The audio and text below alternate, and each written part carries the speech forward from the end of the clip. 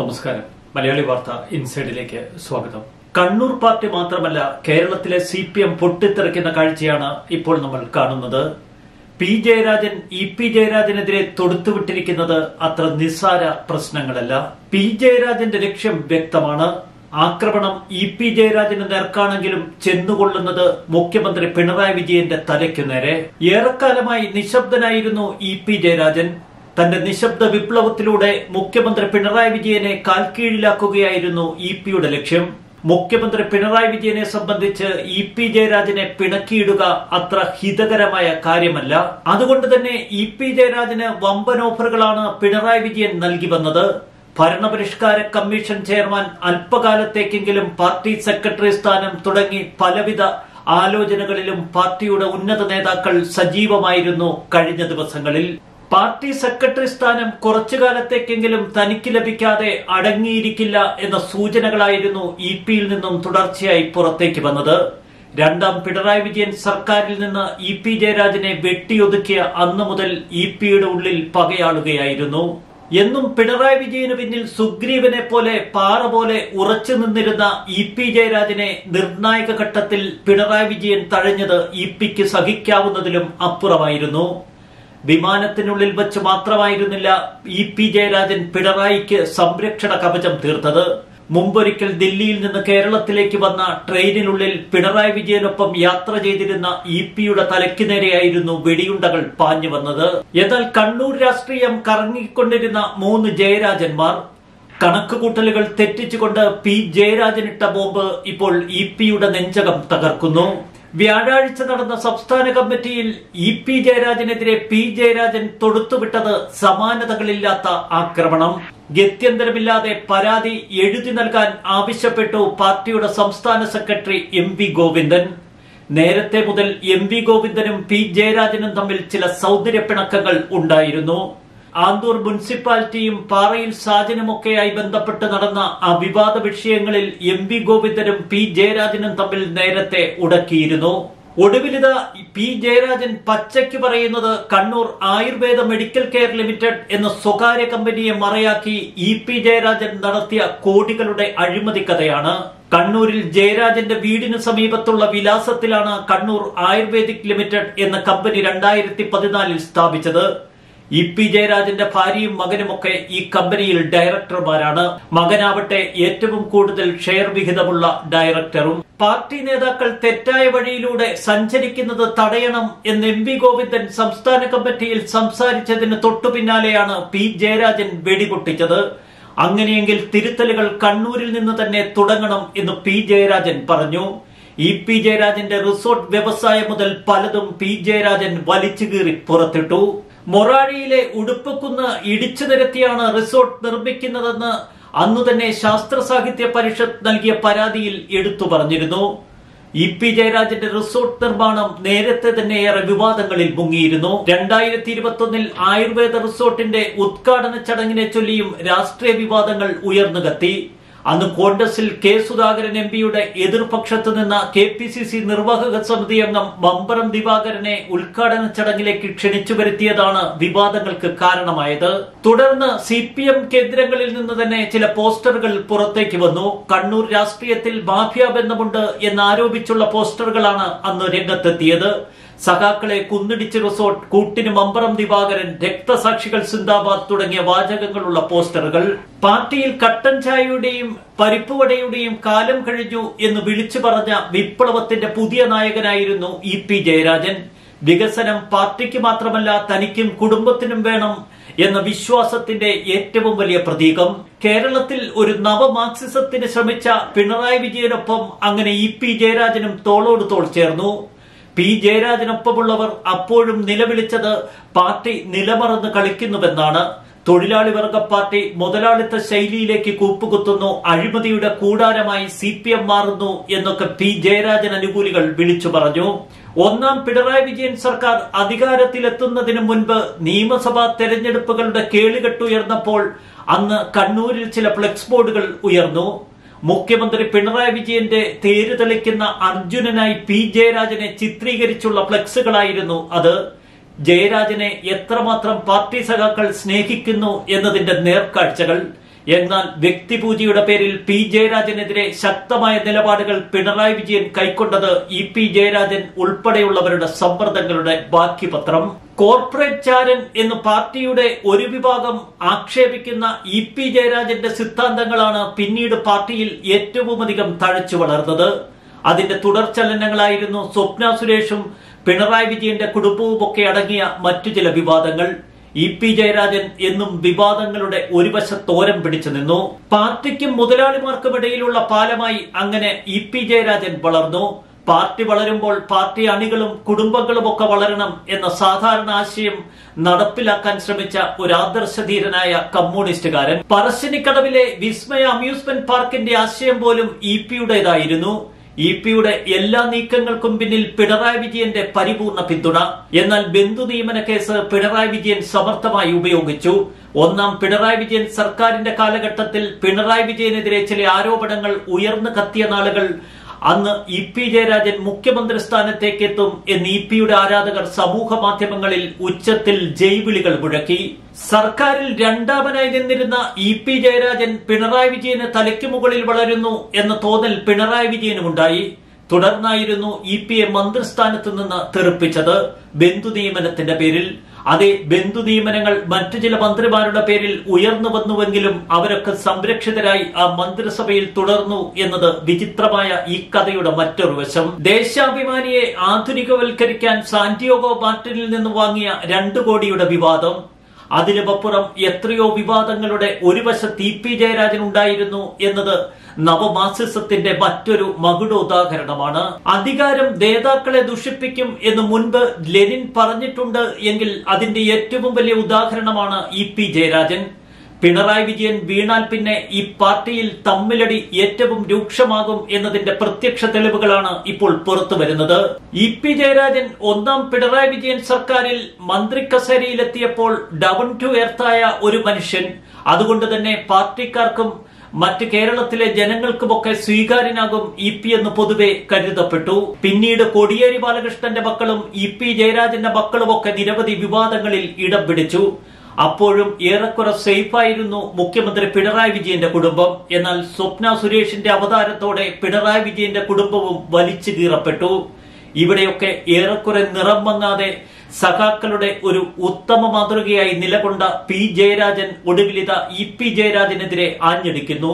ആ കഥയുടെ പിന്നാമ്പുറമെന്ത്? ഇതൊക്കെ മഞ്ഞുമലയുടെ ഒരറ്റം മാത്രമാണ്. പാർട്ടിയിൽ ഇനി എന്തെല്ലാം കാണാനിരിക്കുന്നു എന്ന് ചിലർ ഉച്ചത്തിൽ പറയുന്നു. സമൂഹ മാധ്യമങ്ങളിൽ ചിലർ ചോദിക്കുന്നു എന്ത് ചെയ്താണ് ഈ നേതാക്കളെല്ലാം കോടീശ്വരന്മാരായത്? ഇവരൊക്കെയാണ് ഇപ്പോഴത്തെ കേരളത്തിലെ ജന്മികൾ. കാലാകാലം എല്ലാം ഒളിപ്പിച്ചു വെക്കാൻ കഴിയില്ല സഖാക്കളെ. എല്ലാ തെളിവുകളും പുറത്തേക്ക് വരും എന്ന് മറ്റു ചിലർ പറയുന്നു. ഈ പാർട്ടിയെക്കുറിച്ച് ഒരു ചുക്കും നിങ്ങൾക്കറിയില്ല എന്ന് പറഞ്ഞ കാരണഭൂതനെയാണ് ചിലർ പരിഹസിക്കുന്നത്. ഇനി വീണുടയാനുള്ളത് മുഖ്യമന്ത്രി പിണറായി വിജയന്റെ കഥകൾ എന്ന് മറ്റു ചിലർ. എംബ്രാനൽപ്പം കട്ടുപിടിച്ചാൽ അമ്പലവാസികൾ ഒക്കെ കക്കും എന്ന് മറ്റു ചിലർ പറയുന്നു. ചുരുക്കത്തിൽ സി പി എം പാർട്ടിക്കുള്ളിൽ കലകം തുടങ്ങി എന്ന് വ്യക്തം. സി പി എം പാർട്ടി എന്തുകൊണ്ടാണ് അഴിമതിക്കാരുടെ ഒരു കൂടാരമായി മാറിയിരിക്കുന്നത്? ഇപ്പോൾ അഴിമതി കഥകൾ പച്ചയ്ക്ക് തുറന്നു പറയുന്നത് പി ജയരാജനെ പോലൊരാളാണ് എന്നത് ഈ സംഭവങ്ങളുടെ ഗൗരവം വർദ്ധിപ്പിക്കുന്നു. പി ജയരാജനെ എന്നും പാർട്ടിയിലെ അഴിമതി ലോബി ഒതുക്കിയിരുത്തിയ ചരിത്രം മാത്രമേ നമ്മൾ കേട്ടിട്ടുള്ളൂ. എന്നും കണ്ണൂർ പാർട്ടിയിലെ രണ്ടാമൻ എന്നറിയപ്പെട്ടിരുന്ന പി ജയരാജന് അർഹിക്കുന്ന അംഗീകാരങ്ങളൊന്നും പിണറായി വിജയൻ നൽകിയില്ല. ഒടുവിൽ ഖാദി ബോർഡ് ചെയർമാൻ എന്ന ഒരു ചെറുസ്ഥാനം മാത്രം സമ്മാനിച്ച് പി ജയരാജനെ പൂർണമായി ഒതുക്കിക്കളഞ്ഞു അപ്പോഴാണ് ഇ പി ജയരാജന് ഭരണപരിഷ്കാര കമ്മീഷൻ ചെയർമാൻ തുടങ്ങിയ വമ്പൻ ഓഫറുകൾ പിണറായി വിജയൻ മുന്നോട്ട് വെക്കുന്നത്. ഏതെങ്കിലും വിധത്തിൽ ഇ പി ജയരാജൻ കുറച്ചു കാലത്തേക്കെങ്കിലും പാർട്ടി സെക്രട്ടറി ആയാൽ അത് സഹിക്കാവുന്നതിലും അപ്പുറമാണ് പി ജയരാജന്. പിണറായി വിജയനു ശേഷം കേരളത്തിൽ മാർക്സിസ്റ്റ് പാർട്ടി പൊട്ടിച്ചിതറും എന്നതിന്റെ തെളിവുകളാണ് ഇപ്പോൾ പുറത്തു വരുന്നത്. അതിന്റെ ആരംഭം കുറിച്ചു കഴിഞ്ഞു. പിണറായിയെ പോലെ ഒരൊറ്റ നേതാവിന്റെ കീഴിൽ പാർട്ടിയെ കൊണ്ടു നടക്കാൻ കഴിയുന്ന ആരും ഇനി ആ പാർട്ടിയിൽ ബാക്കിയില്ല. ആകെയുള്ള എം വി ഗോവിന്ദനെ പോലും പരസ്യമായി ചോദ്യം ചെയ്യുന്നു ചില സഖാക്കൾ. സംസ്ഥാന കമ്മിറ്റി കഴിഞ്ഞ ഉടനെ ഇത്തരമൊരു സ്ഫോടനാത്മകമായ വാർത്ത എങ്ങനെയാണ് മാധ്യമപ്രവർത്തകർക്ക് ചോർത്ത് കിട്ടിയത്? ഇതിൽ നിന്ന് ഒരു കാര്യം വ്യക്തമാണ്. പാർട്ടിയുടെ ഇരുമ്പ് പറയൊക്കെ എന്നേ നഷ്ടപ്പെട്ടിരിക്കുന്നു. പിണറായി വിജയനും വേണ്ടത്ര ഗ്രിപ്പില്ല ഇപ്പോൾ സി പി എം പാർട്ടിക്കുള്ളിൽ. പി ജയരാജൻ തൊടുത്തിരിക്കുന്നത് ഇ പി ജയരാജന് നേർക്കാണെങ്കിലും ഇനി കൂടുതൽ ചർച്ചകൾ ചെന്നെത്തുന്നത് പിണറായി വിജയന്റെ കൊട്ടാരത്തിലേക്ക്. ഇപ്പോഴത്തെ സംഭവ വികാസങ്ങളുടെ രാഷ്ട്രീയ മാനങ്ങൾ അത്ര നിസ്സാരമല്ല. സി പി എമ്മിനുള്ളിൽ അതിശക്തമായ ഒരു വിമത വിഭാഗം വളർന്നു വരുന്നു എന്നതിന്റെ നേർചിത്രം. ഇതൊരു സാമ്പിൾ വെടിക്കെട്ട് മാത്രമാണ് എന്ന് സി പി എമ്മിനെയും പി ജയരാജനെയും അടുത്തറിയാവുന്നവർക്ക് വ്യക്തമായി മനസ്സിലാകും. കാരണം പി ജയരാജനെ പോലൊരു രാഷ്ട്രീയ നേതാവ് ഒന്നും കാണാതെ ഇത്ര ഗൗരവതരമായ ഒരു വിഷയം ഉന്നയിക്കത്തില്ല. ഉഗ്രൻ അണിയറയിൽ തയ്യാറെടുത്തുകൊണ്ടിരിക്കുന്നു എന്ന പിന്നാമ്പുറ വാർത്തകൾക്ക് പിന്നിലും അതൊക്കെ തന്നെ. ഇ പി ജയരാജൻ ഏതെങ്കിലും വിധത്തിൽ പി ജയരാജനെതിരെ പ്രതികരിച്ചാൽ ഇനി കാര്യങ്ങൾ കൈപ്പിടിക്കുള്ളിൽ നിൽക്കില്ല. അംഗം ഇനിയും അതുക്കും മേലെയായിരിക്കും എന്ന് പാർട്ടിയുടെ ഒരു വിഭാഗം നേതാക്കൾ ഉച്ചത്തിൽ പറയുന്നു. എണ്ണി എണ്ണി ഇ പി ജയരാജന്റെ മുഖതാവിലേക്ക് തന്നെ എറിഞ്ഞുകൊടുത്തുകൊണ്ടാണ് പി ജയരാജൻ കളി തുടങ്ങിയിരിക്കുന്നത്. തടുക്കാൻ പിണറായി വിജയന് പോലും കെൽപ്പുണ്ടാവില്ല എന്ന് വ്യക്തം. കമ്മ്യൂണിസ്റ്റ് രീതികളും പ്രവർത്തനങ്ങളും ഒക്കെ ഏറെ ചർച്ചയായ വർത്തമാന കാലഘട്ടത്തിലാണ് ഇപ്പോൾ പി ജയരാജന്റെ ഈ പുറപ്പെടൽ.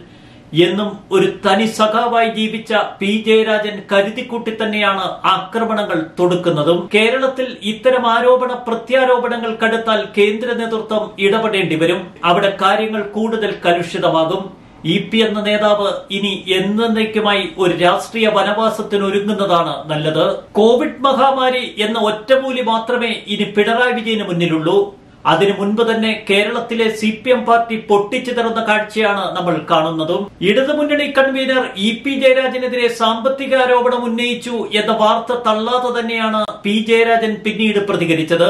ഇ പി കേന്ദ്ര കമ്മിറ്റി അംഗമാണ് പാർട്ടിയുടെ ഭാഗമായി നിന്നതിന് ക്രൂരമായി ആക്രമിക്കപ്പെട്ട നേതാവാണ് എന്നൊക്കെ പി ജയരാജൻ ഇ പിയെ കുറിച്ച് പറഞ്ഞു. എന്നാൽ സംസ്ഥാന കമ്മിറ്റിയിൽ പി ജയരാജൻ ഇ പിക്കെതിരെ ചില സാമ്പത്തിക ആരോപണങ്ങൾ ഉന്നയിച്ചു എന്നത് വ്യാജ വാർത്തയാണോ എന്ന ചോദ്യത്തിന് വ്യക്തമായ മറുപടി തന്നെയാണ് പി ജയരാജൻ നൽകിയത്. പാർട്ടിക്കകത്ത് നടന്ന ചർച്ചകൾ പുറത്ത് പങ്കുവെക്കാൻ ആഗ്രഹിക്കുന്നില്ല എന്നാണ് അദ്ദേഹം പറഞ്ഞത്. പാർട്ടി വലതുപക്ഷ നയത്തിലേക്ക് പോകുന്നു എന്ന ചർച്ച സംസ്ഥാന കമ്മിറ്റിയിൽ ഉയർന്നപ്പോഴാണ് പി ജയരാജൻ ഇത്തരമൊരു ആരോപണം ഉന്നയിച്ചത്. ഒടുവിലിത പി ജയരാജൻ പോലും തന്റെ ആരോപണങ്ങൾ നിഷേധിക്കുന്നില്ല. കണ്ണൂരിൽ പാർട്ടിയിൽ പുതുതായി തുറന്നിരിക്കുന്ന ഈ പോർമുഖം ഇനി തലസ്ഥാനത്തേക്ക് വരാൻ അധിക നേരമില്ല ഒരു വശത്ത് പിണറായി വിജയനും മറുവശത്ത് പി ജയരാജനും നേർക്കുനേർ നിൽക്കുമോ എന്ന് മാത്രമേ ഇനി കാത്തിരുന്ന് കാണാൻ കഴിയൂ. പി ജയരാജന്റെ ഏറ്റവും വലിയ രാഷ്ട്രീയ ശത്രുവായ പി ശശിയെ മുഖ്യമന്ത്രി തന്റെ വലങ്കൈയായി വെച്ചിരിക്കുന്നു. കണ്ണൂർ രാഷ്ട്രീയത്തിൽ പി ജയരാജനെ ഒതുക്കാനുള്ള തന്ത്രങ്ങളാണ് മുഖ്യമന്ത്രിയുടെ ഓഫീസിൽ പോലും ആവിഷ്കരിക്കപ്പെടുന്നത് എന്ന് ജയരാജന് വ്യക്തമായി അറിയാം. പി ശശിയെ മുഖ്യമന്ത്രിയുടെ പൊളിറ്റിക്കൽ സെക്രട്ടറിയായി നിയമിക്കുന്നതിനെതിരെ അന്ന് ശക്തമായ നിലപാടെടുത്ത നേതാവാണ് പി ജയരാജൻ. എന്നിട്ടും ജയരാജന്റെ വാക്കുകൾ മുഖ്യമന്ത്രി പിണറായി വിജയൻ മുഖവിലക്കെടുത്തില്ല. വിഭാഗീയതയുടെ ഒരു വലിയ കാലത്തിനു ശേഷം ഇപ്പോൾ പാർട്ടിയിലെ ഒരു പ്രധാന നേതാവിനെതിരെ ഉയരുന്ന വലിയ ആരോപണമാണ് പാർട്ടിക്ക് മുന്നിലുള്ളത്. അതുകൊണ്ട് തന്നെ എം വി ഗോവിന്ദന് ഇനി പരീക്ഷണങ്ങളുടെ കാലഘട്ടം. രണ്ടായിരത്തി പതിനാലിൽ ആരംഭിച്ച റിസോർട്ട് ഇപ്പോൾ വലിയ വിവാദങ്ങളിലേക്ക് കൂപ്പുകുത്തിയത് പിണറായിക്ക് വലിയ തലവേദനകളാണ് സമ്മാനിച്ചിരിക്കുന്നത്. കണ്ണൂർ ജില്ലാ സെക്രട്ടറി ആയിരുന്ന പി ജയരാജനെ ഒതുക്കാൻ വേണ്ടി മാത്രം വടകരയിൽ മത്സരിപ്പിച്ചു. എന്നാൽ പിന്നീട് മത്സരത്തിൽ തോറ്റ ശേഷം കണ്ണൂർ പാർട്ടിയുടെ സെക്രട്ടറി സ്ഥാനം അദ്ദേഹത്തിന് തിരികെ നൽകിയില്ല. മുഖ്യമന്ത്രിയുടെ പൊളിറ്റിക്കൽ സെക്രട്ടറി ആയിരുന്ന എം വി ജയരാജനെ നേരെ കണ്ണൂരിലേക്ക് അയച്ച് പാർട്ടിയുടെ കണ്ണൂർ ജില്ലാ സെക്രട്ടറിയാക്കി പി. ജയരാജൻ ഏറ്റവും ശക്തമായി എതിർത്തിരുന്ന പി. ശശിയെ തന്നെ മുഖ്യമന്ത്രി തന്റെ പൊളിറ്റിക്കൽ സെക്രട്ടറിയായി നിയമിച്ചു. സംസ്ഥാന സെക്രട്ടേറിയറ്റിൽ പോലും സ്ഥാനം ലഭിക്കാതിരുന്ന പി. ജയരാജനെ ഖാദി ബോർഡ് വൈസ് ചെയർമാനായി ഒതുക്കിക്കളഞ്ഞു കോടിയേരി ബാലകൃഷ്ണന്റെ മരണശേഷം തന്നെ പാർട്ടി സെക്രട്ടറിയാക്കും എന്ന് കരുതിയിരുന്ന ഇ. പി. ജയരാജനും നിരാശയുടെ കാലമായിരുന്നു കടന്നുപോയത്. അതുകൊണ്ട് തന്നെ പാർട്ടി പ്രവർത്തനങ്ങളിൽ നിന്ന് അദ്ദേഹം ബോധപൂർവം വിട്ടുനിന്നു. പിണറായി വിജയന് താങ്കും തണലുമായി നിന്നിരുന്ന ഇ പി പിണറായി തന്നെ വെട്ടും എന്നൊരിക്കലും കരുതിയില്ല. എം വി ഗോവിന്ദൻ പാർട്ടിയുടെ പുതിയ നേതൃത്വത്തിലേക്ക് കടന്നു വന്നത് ഇ പി ജയരാജനും പി ജയരാജനുമൊക്കെ സഹിക്കാവുന്നതിലും അപ്പുറമായിരുന്നു. എങ്കിലും ഇ പിയുടെ വളർച്ച പി ജയരാജന് തടഞ്ഞേ തീരൂ. മുൻപൊക്കെ ഇ പി ജയരാജനെതിരെ എന്തെങ്കിലും ആരോപണങ്ങൾ ഉയരുമ്പോൾ സംരക്ഷിക്കാനായി ഓടിയെത്തിയിരുന്നത് പിണറായി വിജയൻ തന്നെയാണ്. ഇവിടെയും ഇ പി എ സംരക്ഷിക്കാൻ ഇനി പിണറായി എത്തുമോ എന്ന് കാത്തിരുന്ന് കാണാം. എം വി ഗോവിന്ദനാവട്ടെ പാർട്ടി സെക്രട്ടറി സ്ഥാനം കൈവന്നതോടെ ഏറെ മാറിപ്പോയിരിക്കുന്നു. പിണറായി വിജയനെ പോലും കൂസാത്ത ഭാവമാണ് ഇപ്പോൾ എം വി ഗോവിന്ദന്. പാർട്ടിയിൽ ഒരു സമ്പൂർണ ശുദ്ധീകരണ പ്രക്രിയ വേണം എന്ന നിലപാടുകാരനായി മാറി M V Govindan. C P M പാർട്ടിയിൽ പിണറായി ഭക്തിയിലൂടെയാണ് എന്നും ഇ പി ജയരാജന്റെ വളർച്ച. അഡ്വക്കേറ്റ് ജയശങ്കറിനെ പോലെയുള്ളവർ പിണറായി വിജയന്റെ സുഗ്രീവൻ എന്നാണ് ഇ പി ജയരാജനെ വിശേഷിപ്പിക്കുന്നത്. ലാവ്ലിൻ കേസിൽ പിണറായി വിജയന് നേരെയുണ്ടായ ആക്രമണത്തെ ഏറ്റവും ശക്തമായി നേരിട്ടത് അന്ന് ഇ പി ജയരാജൻ തന്നെ. പൊതുയോഗത്തിൽ നെഞ്ചത്തെ രോമം പറിച്ച് ആകാശത്തെ ക്യൂതിവിട്ട് അദ്ദേഹം അന്ന് സി ബി ഐയെ വെല്ലുവിളിച്ചിരുന്നു. പിണറായി വിജയന്റെ വലംകൈയായി നിന്നിരുന്ന ഇ പി എ പിണറായി തന്നെ തഴഞ്ഞു എന്ന മനോവിഷമത്തിൽ പാർട്ടിയിൽ ഒതുങ്ങിക്കൂടിയ നാളുകളിലാണ് ഇപ്പോൾ പി ജയരാജന്റെ ആക്രമണം. ഇതിൽ നിന്ന് എങ്ങനെ ഇ പി ഇനി രക്ഷപ്പെടും എന്ന് കാത്തിരുന്ന് കാണുക മാത്രമേ മാർഗമുള്ളൂ. അതിലപ്പുറം പി ജയരാജന്റെ അടുത്ത അംഗം പിണറായി വിജയന് നേർക്ക് എന്ന് വ്യക്തമാണ്. ന്യൂസ് ഡെസ്ക് മലയാളി വാർത്ത ഇൻസൈഡ്. Whoop.